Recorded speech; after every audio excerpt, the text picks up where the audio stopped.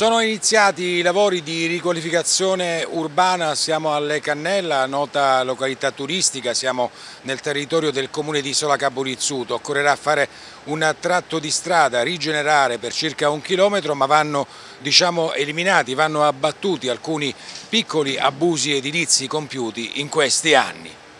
Sì, ci troviamo alle Cannella e stamattina si procederà all'abbattimento eh, di tanti piccoli abusi sul lungomare proprio di Le Cannella.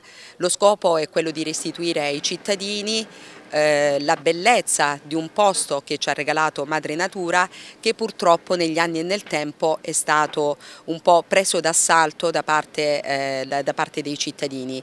Eh, con l'opera di rigenerazione urbana procederemo all'abbattimento e alla riqualificazione di circa un chilometro di lungomare. Questi sono diciamo, finanziamenti che non vanno assolutamente persi?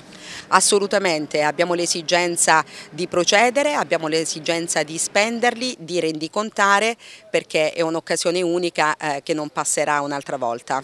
Oggi siamo al 2 di aprile, quando sarà finito il tutto?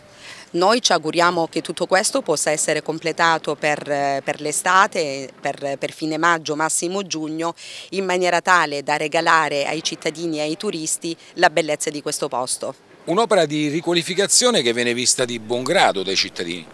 Sì, dopo i primi tentennamenti abbiamo avuto grande collaborazione da parte della cittadinanza che hanno proceduto prima all'allaccio della rete fognante e poi insomma, sono stati contenti per quello, per quello che si realizzerà. Quindi insomma grande collaborazione da parte della cittadinanza.